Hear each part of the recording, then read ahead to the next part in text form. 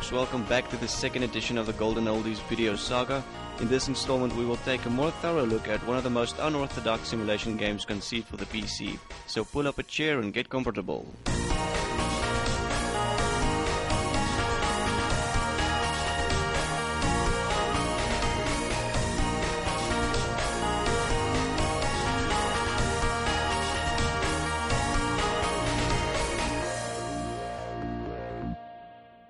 MechWarrior 4 Vengeance is the fourth edition in the MechWarrior series. Released in 2000, it was received from the already established fanbase with mixed emotions. Some claiming that the fourth was a horrible successor to that of the third, while others boasted it was extensively superior to those before it. Only one thing is in concurrence. There was a four. The story of Vengeance is instigated with a video transmission made by someone called Duke Eric Dresari, who resides on a planet named Kentares. He explains that his planet is under siege by an army commanded by an individual named Katrina Steiner and that he himself and the remaining members of the royal family face their demise. In quick succession, we learn that the transmission is meant for the Duke's son, Ian Dresari, the protagonist, and who you will ultimately become through the entire ordeal. With Ian being one of the heirs to the throne, and with lividness fueled, he, with the help of his uncle, procures a small band that will form the resistance that will attempt to free Kentares and restore rightful balance to the Force. Super cute. Eventually, you will come to learn that your cousin, William Dresari, is an accomplice in the assault conducted on the planet, and that he has seized the throne for himself. Stripped of any excess intricacies, the story is nothing more than a revenge plot with some subtle variations to add some flavor. However, some aspects are elaborated upon, such as the history of Kentares, which does the job of satisfying the need for some insight into the world, but only just. Now, while I would love to assert that the story is eventually depicted in a way which amends the lack of depth it has, I cannot.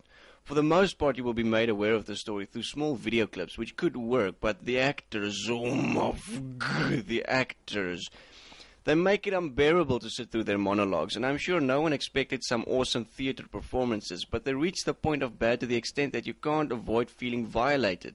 Take the intro as example. You inevitably become this bloke. Regardless of the fact that he looks like a windshield, it's that he delivers each line as if it caused him great pain to recite it. The following is an example of his moments. Justice.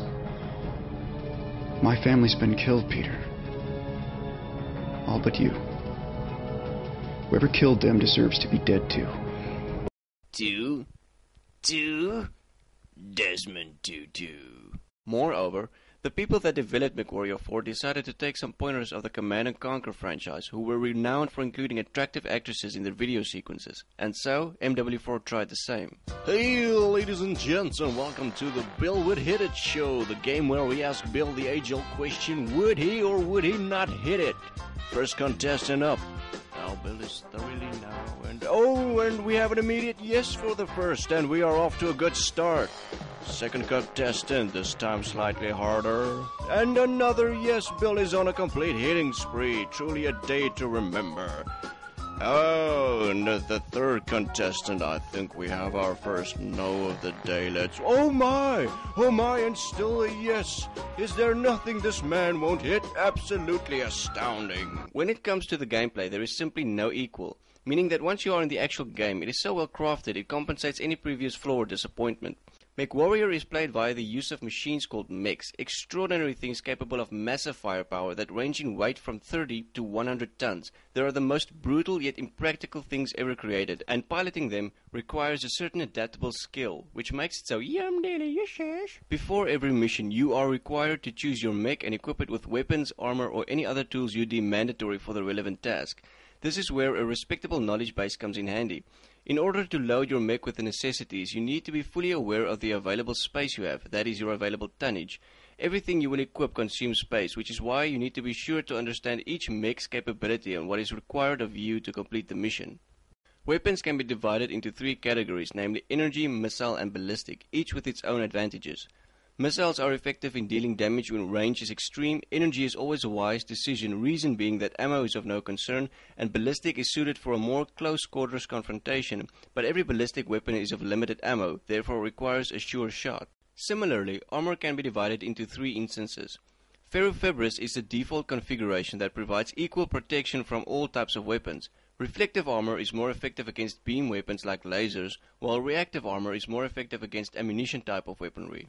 After the configuration is done, one can finally indulge in the mission. This is where the game's epicness comes into play.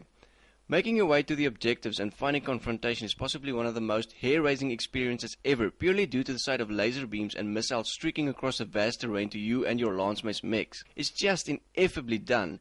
In fact, a special mention to the LRMs or long-range missiles. The simultaneous effect of the auditory warning of a missile lock-on with the addition of the uneasy glances in multiple directions only to witness the orchestrated wide barrage of nefarious missiles rushing towards you is enough to cause underpant malfunction and completely breaks the cool scale.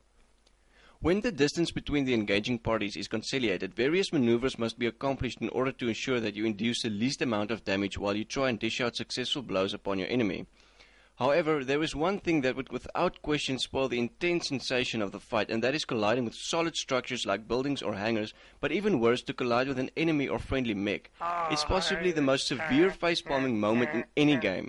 If one happens to produce such a moment, it feels like someone will pop up and yell at you. Leave her alone! Please! Tactics in MechWarrior would comprise of effectively commanding your lance mates while you are attacking or defending a certain objective. While they are in most cases complete imbeciles, you genuinely need their aid to successfully complete certain missions, which implores you to pay attention not only to the opposing army and the status of your mech, but also to remain conscious of the damage your teammates are incurring or suffering. Other random strategies involve the acute use of radar, angles of engagement, terrain advantages, enemy mechs and their capabilities, and how to avoid the f- damn movie clips. Sorry. On a side note, the replay value of the game is actually respectable. With a contribution of 4 difficulty levels, it makes the challenge a decent one. You will find that on hardest difficulty, you will face mechs that completely overpower you, and inevitably it does reach a point where it's almost impossible. The irony is that the more arduous the mission, the more fun it is. If you ever find yourself in need of something different from conventional gaming, take one extensive look at MechWarrior 4. It is simply a unique simulation concept that evolved into one of the most gratifying gaming experiences ever. Even though there will always be a feud between which of the four is better, it is a fact that everyone had to have been in the MechWarrior universe at some point in time to partake in its grandeur. Besides, Battletech.com announced this year that it would freely distribute it, so no excuses. Alas, it's time for me to the and show some more MW4 footage. Happy gaming!